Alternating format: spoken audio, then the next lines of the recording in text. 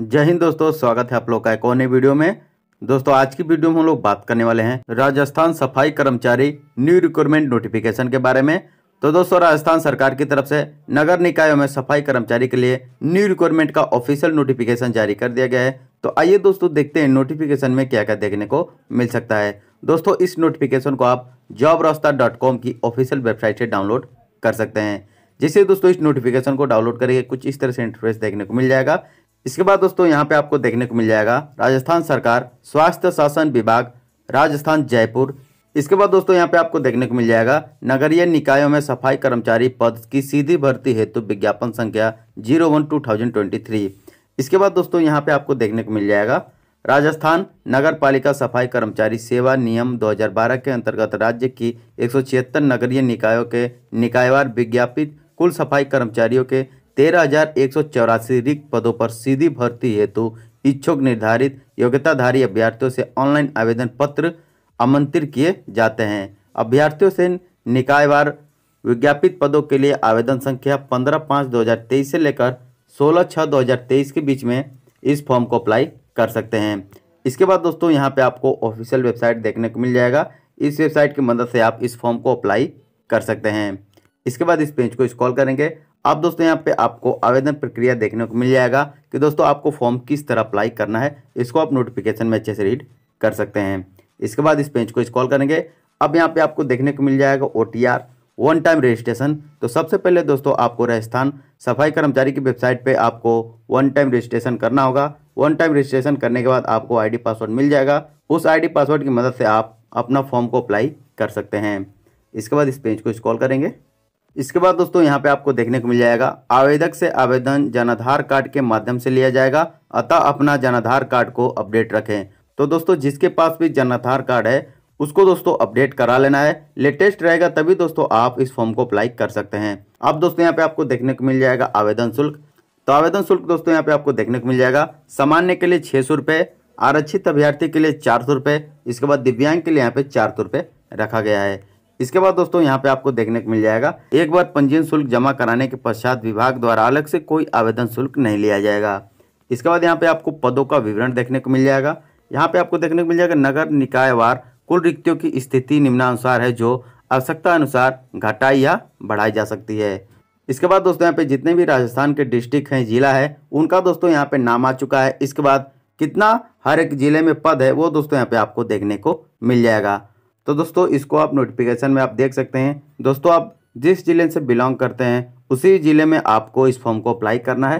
इसके बाद दोस्तों, यहाँ पे कुल पद आपको देखने को मिल जाएगा। तेरह हज़ार एक सौ चौरासी पद यहाँ पे आपको देखने को मिल जाएगा। इसके बाद इस पेज को स्क्रॉल करेंगे। इसके बाद दोस्तों, यहाँ पे आपको देखने को मिल जाएगा। उत्कृष्ट खिलाड़ियों को आरक्षण राज्य सरकार की अधिसूचना क्रमांक इतना दिनांक इक्कीस ग्यारह दो के अनुसार कुल रिक्तियों का टू परसेंट दिया होगा। उत्कृष्ट खिलाड़ी हेतु आरक्षित पदों का आरक्षण क्षैतिज के रूप में, अर्थात आवेदक जिस वर्ग के सामान्य वर्ग, आर्थिक रूप से कमज़ोर, अनुसूचित जाति, अनुसूचित जनजाति, पिछड़ा वर्ग, अति पिछड़ा वर्ग का होगा, उसे उसी वर्ग के अंतर्गत समायोजित किया जाएगा। तो जो दोस्तों नेशनल, इंटरनेशनल खिलाड़ी हैं, उनके लिए दोस्तों यहाँ पे जो दो या तीन परसेंट छूट है, वो दोस्तों आपको देखने को मिल जाएगा। यहाँ पे दोस्तों खेल का नाम आपको देखने को मिल जाएगा, इसके बाद चैंपियनशिप यहाँ पे आपको देखने को मिल जाएगा। इसके बाद अंतर्राष्ट्रीय ओलंपिक समिति, ओलंपिक गेम्स ग्रीष्मकालीन एशिया ओलंपिक परिषद, एशियन गेम्स, इसके बाद दक्षिण एशिया ओलंपिक परिषद, दक्षिण एशियन गेम्स, जो सामान्य सैफ गेम्स के रूप में जाने जाते हैं। इसके बाद राष्ट्रीय मंडल खेल परिसंघ, राष्ट्रीय मंडल गेम्स। इसके बाद दोस्तों, यहाँ पे आपको देखने को मिल जाएगा, अंतर्राष्ट्रीय ओलंपिक परिषद से विश्व कप या विश्व चैंपियन हो। इसके बाद एशिया ओलंपिक परिषद से संबंध अंतर्राष्ट्रीय खेल परिसंघ, एशियन चैंपियन अंतर्राष्ट्रीय स्कूल खेल परिसंघ, अंतर्राष्ट्रीय स्कूल गेम्स चैंपियन। इसके बाद यहाँ पे आपको देखने को मिल जाएगा, एशियन स्कूल खेल परिसंघ, एशियन स्कूल गेम्स चैंपियन। तो यहाँ पे दोस्तों, जो भी ये खेल है इसका दोस्तों, आपके पास सर्टिफिकेट होना चाहिए, तभी दोस्तों, आपको वैकेंसीज में छूट देखने को मिल जाएगी। इसके बाद इस पेज को स्क्रॉल करेंगे। अब दोस्तों, यहाँ पे आपको नोटिफिकेशन देखने को मिल जाएगा। School game federation of India द्वारा आयोजित किसी भी खेल कूद के किसी स्कूल नेशनल गेम्स में व्यवस्थित या टीम, स्पर्धा ने भारतीय टीम का प्रतिनिधित्व किया हो या इंडिया ओलंपिक एसोसिएशन, इससे संबंध नेशनल स्पोर्ट फेडरेशन द्वारा आयोजित किसी भी खेल कूद के किसी राष्ट्रीय टूर्नामेंट चैंपियन में व्यक्तिस्थ या टीम स्पर्धा में मेडल जीता हो, उसको दोस्तों छूट यहाँ पे दिया जाएगा। इसके बाद यहाँ पे भी आपको देखने को मिल जाएगा, एसोसिएशन ऑफ़ इंडियन यूनिवर्सिटी द्वारा आयोजित ऑल इंडिया यूनिवर्सिटी के किसी खेल कूद में व्यक्ति या टीम स्पर्धा में मेडल जीता हो। या फिर दोस्तों इंडियन ओलंपिक एसोसिएशन और para Olympic committee of India या इससे संबंध नेशनल स्पोर्ट फेडरेशन द्वारा आयोजित किसी खेल कूद की national champion para national champion या national games national para games में कोई भी व्यक्ति मेडल जीता हो तो उसको भी छूट यहाँ पे आपको देखने को मिल जाएगा। इसके बाद दोस्तों, यहाँ पे आपको आयु में छूट देखने को मिल जाएगा। तो यहाँ पे दोस्तों, अनुसूचित जनजाति, अनुसूचित जाति, अन्य पिछड़ा वर्ग, अति पिछड़ा वर्ग के लिए पाँच वर्ष छूट है। पुरुष के लिए इसके बाद सामान्य वर्ग महिला के लिए पाँच वर्ष छूट है। इसके बाद अनुसूचित जाति, अनुसूचित जनजाति, अन्य पिछड़ा वर्ग एवं अति पिछड़ा वर्ग एवं आर्थिक रूप से कमज़ोर वर्ग की महिला अभ्यर्थी जो राजस्थान के मूल निवासी उसको दोस्तों यहाँ पे दस वर्ष छूट देखने को मिल जाएगा। इसके बाद दोस्तों यहाँ पे आपको अब चयन प्रक्रिया देखने को मिल जाएगा। तो किस तरह से दोस्तों चयन होगा क्या क्या डॉक्यूमेंट लेंगे यहाँ पे दोस्तों नीचे आपको देखने को मिल जाएगा। तो सबसे पहले दोस्तों यहाँ पे आपको देखने को मिल जाएगा, अभ्यर्थी, साक्षात्कार हेतु निर्धारित तिथि को निम्न दस्तावेजों के साथ चयन समिति के समक्ष उपस्थित हो गए। तो पहला दोस्तों डॉक्यूमेंट यहाँ पे आयु संबंधित प्रमाण पत्र जन्म प्रमाण पत्र जिसकी जन्म तिथि, अंकित हो की ज़ीरो टू सत्यापित प्रतिलिपि। यानी दोस्तों आपको दो फोटोकॉपी भी ले जाना है। इसके बाद आवेदक के जनाधार कार्ड की दो फोटोकॉपी इसके बाद आवेदक का अनुभव प्रमाण पत्र की दो फोटोकॉपी इसके बाद साक्षाकार के दौरान अभ्यर्थी द्वारा नगरीय निकाय, केंद्र एवं राज्य के किसी भी विभाग केंद्र एवं राज्य सरकार के आदेश द्वारा संस्थापित स्वायत्तासी संस्था, अर्ध सरकारी संस्था में संवेदकों प्लेसमेंट एजेंसिया के माध्यम से जारी न्यूनतम एक वर्ष के अनुभव प्रमाण पत्र के साथ संवेदक प्लेसमेंट एजेंसिया को जारी किया गया।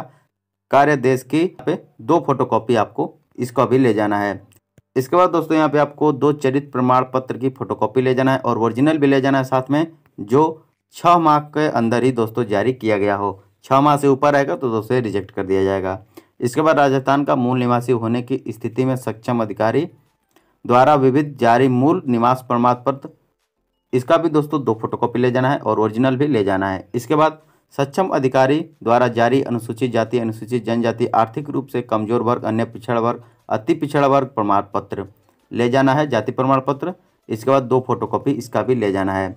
इसके बाद यहाँ पे आपको विवाहित होने की दशा में विवाह पंजीयन प्रमाण पत्र की दो फोटोकॉपी इसके बाद विधवा होने की दशा में प्रतीक के मृत्यु प्रमाण पत्र की दो फोटोकॉपी इसके बाद विच्छिन्न विवाह तलाकशुदा होने की दशा में विच्छिन्न विवाह तलाक की डिग्री की दो फोटोकॉपी यहाँ पे ले जाना है।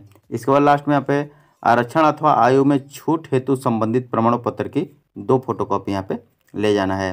इसके बाद नोट में यहाँ पे आपको देखने को मिल जाएगा, निर्धारित सच्चाकार के समय, वांछित दस्तावेज़ प्रमाण पत्र के अभाव में आवेदक का सत्कार नहीं लिया जाएगा तथा सच्चाकार का अन्य कोई मौका नहीं दिया जाएगा।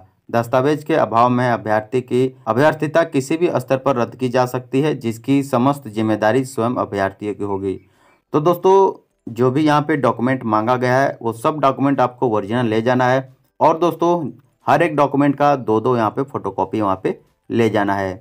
इसके बाद दोस्तों, यहाँ पे आपको फ़ोटो और जो हस्ताक्षर लगेगा, वो कितने के बी मिलेगा, यहाँ पे आपको देखने को मिल जाएगा। जो आपका फ़ोटो रहेगा, वो दोस्तों, यहाँ पे बैकग्राउंड सफ़ेद या हल्के रंग की होनी चाहिए और फ़ोटो दोस्तों, आपका क्लियर होना चाहिए। इसके बाद जो फ़ोटो की साइज़ है, वो दोस्तों, यहाँ पे आपको देखने को मिल जाएगी, जो कि फ़ोटो की साइज़ 50 से सौ के बी के बीच में होना चाहिए और फ़ोटो जेपीजी या फिर जेपीईजी में होना चाहिए। इसके बाद यहाँ पे आपका अंगूठे का निशान भी अपलोड किया जाएगा, जो कि आपका थंब होगा। ये भी दोस्तों 20 से 50 के के बीच में होना चाहिए और ये भी डॉक्यूमेंट दोस्तों जेपीईजी और जेपीईजी फॉर्मेट में होना चाहिए। इसके बाद जो अभी यहाँ पे दस्तावेज़ है, उसको दोस्तों वहाँ पे स्कैन करके अपलोड करना पड़ेगा।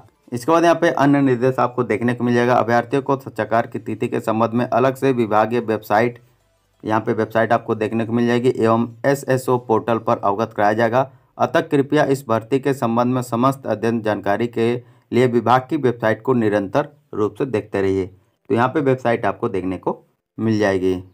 तो बस दोस्तों, आज की वीडियो में इतना ही। मैंने नोटिफिकेशन को अच्छे से एक्सप्लेन कर दिया है। उम्मीद करते हैं कि दोस्तों वीडियो पसंद आए। वीडियो पसंद आए तो इस वीडियो को लाइक कीजिए, अपने दोस्तों के साथ भी शेयर कीजिए। अगर आप चैनल पर नए हैं तो चैनल को सब्सक्राइब कीजिए। तब तक ले जय हिंद, वंदे मातरम।